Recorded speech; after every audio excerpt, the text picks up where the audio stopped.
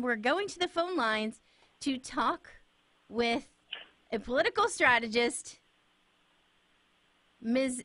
Uh, Debbie Georgatos. Did I say your last name correctly? You did. I should send you flowers or something.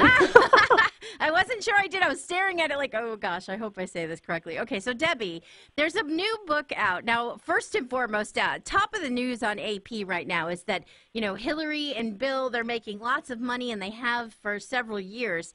And then you look at Politico, and they're reporting that Hillary is under attack and her character's being assassinated. At least that's what's coming from her camp. Now we've got this book, which is very timely uh, by author Ronald Kessler, defending Secret Service agents and making some sensational claims about former presidents in, in this book. Uh, it's called The First Family Detail Secret Service Agents Reveal the Hidden Lives of Presidents. And of course, Bill Clinton is a number one in this one.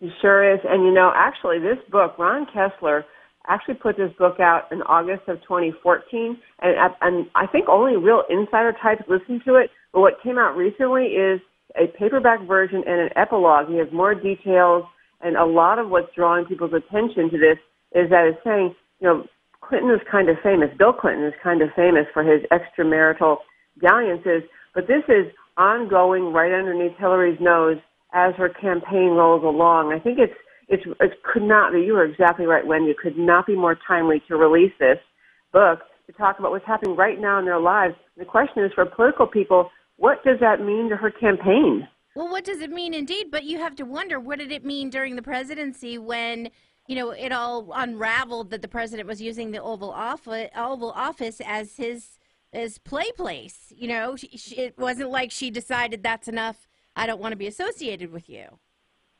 Oh, right. You know, for people who value marriage and and um, you know, kind of the, the monogamy, the the covet, uh, the, you know, the covenant of marriage.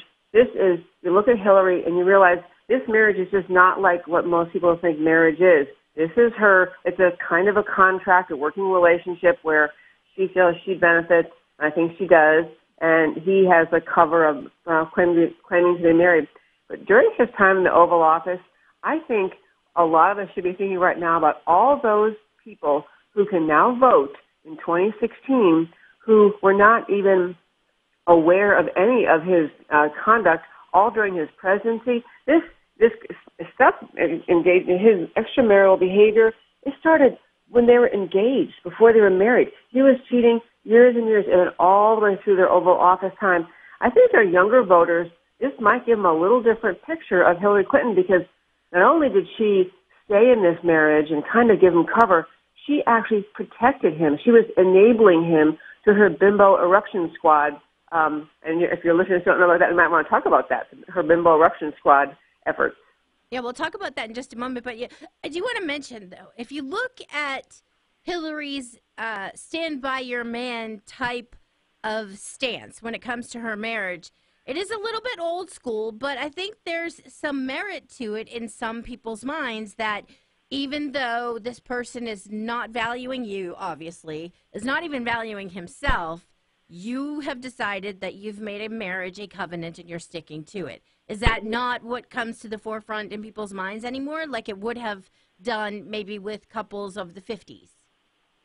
You know, I do exactly right. I think in the 50s, that was a stand by your man and just whatever he does, you do stand with it.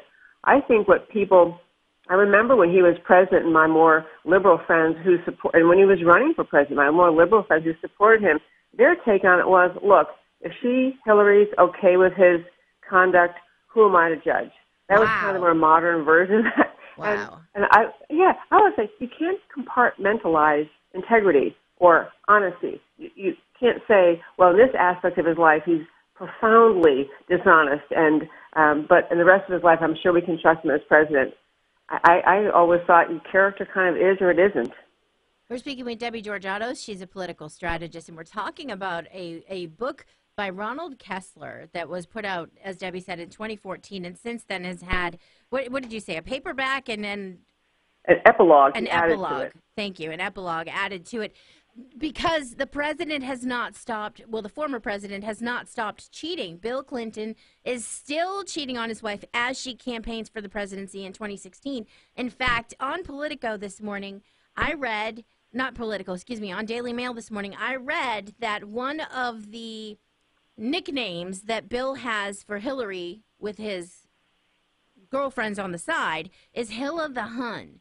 How could you move forward thinking this is what my husband tells people about me? This is what he calls me. Yes, you know, as painful as it would sound to people who were in a normal marriage, and I'm sure she doesn't like it, but not because it personally hurts her. It just makes her look bad in the campaign trail. I really do think there's their marriages, or my perception of it is, it's just a, a working relationship where she benefits from his far better campaign personality. He's more engaging. People like to talk to him when he goes to events. He just can't get enough of talking to the people. And so that warmth of him, or people perceive it as warmth, uh, makes her look better. And you know, she's a very dislikable person on a personal level. Her she doesn't like to talk to people. She doesn't like to really have to sit down with them during the campaign. So she benefits from their marriage. But as to whether the Hilla the Hun thing, it, I think it embarrasses her more than personally hurts her.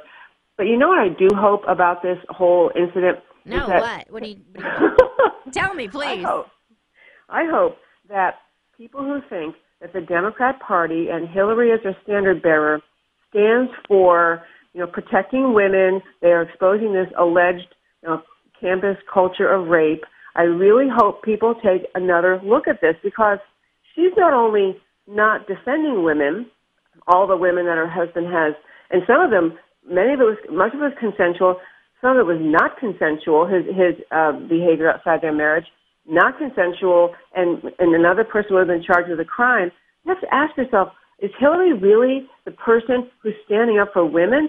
She was part of suppressing them, telling them, threatening them if they told their stories to the media. Yeah, she was very much an enabler. that. Yeah, let's talk about that. You said there's some kind of bimbo. What's what did you call it?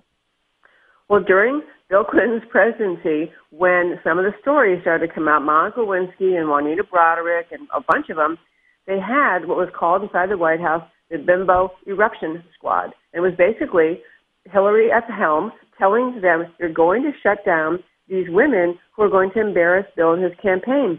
And there are stories, in fact, on Lucianne, I don't know if you happen to ever check out Lucianne, but Lucianne Goldberg talks about Hillary's enforcers, her detectives, would approach these women whom Bill had harassed or become involved with, um, take them out to coffee, shove a piece of paper across the table and say, here, sign this. And let's just say they never had anything to do with Bill Clinton. And this was this has been going on through their whole married life. Well, you think that you to- think this paper that she had them sign was kind of a non-disclosure sort of thing? Right. It, it, you know, essentially saying, it's not really non-disclosure. It's saying you're going to say that nothing ever happened. Ah, so you're going to lie. You're going to lie.